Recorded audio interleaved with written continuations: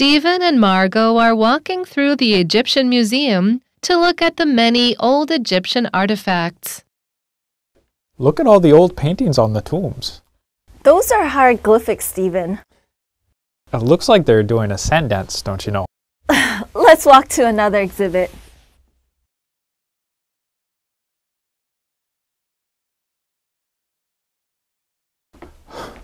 Wait, Margot. We're moving too fast.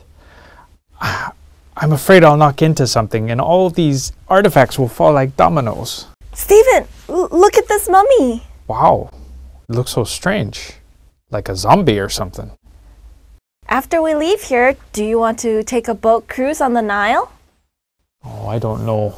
Those crocodiles might show their teeth to us. So, what do you want to do then? Let's get a camel ride at the pyramids of Giza instead.